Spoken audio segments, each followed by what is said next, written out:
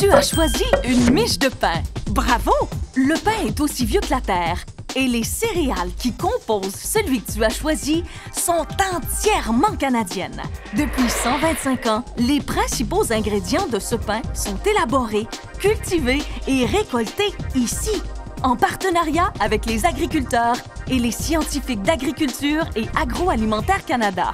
Ensemble, nous avons travaillé fort pour développer des cultures de blé, d'orge, d'avoine et d'autres céréales au rendement supérieur et naturellement résistantes aux maladies et aux parasites afin que les agriculteurs puissent les gérer de façon efficace. Élaboré par nos scientifiques au tout début du 20e siècle, le blé marquis a vraiment permis de donner au Canada une place prééminente en tant que producteur de céréales. En sélectionnant les semences, les scientifiques ont cherché des traits génétiques comme le mûrissement rapide et la résistance au grand vent. On dit de ce blé, de force route printemps, qu'il a contribué autant que le chemin de fer à ouvrir la voie des prairies canadiennes aux pionniers désireux de cultiver la terre. Alors, que mijote-t-on en ce moment dans nos laboratoires de recherche?